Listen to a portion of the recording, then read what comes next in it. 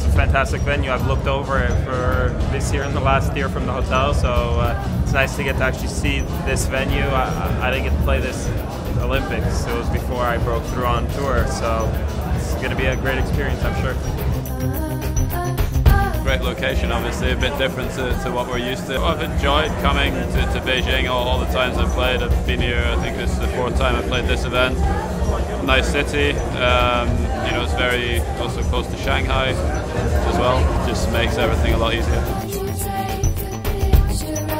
It's uh, almost a tradition being back here in Beijing. No? It's a place that I really like a lot. Uh, great tournament director, uh, great feeling with the, tournament. I'm just um, happy to be back here. It's one of the best memories that I have in my career. You know, having the opening ceremony here of the Olympics 2008. So always it's great to be back here. It's a, an amazing place to place to have the, the, the party.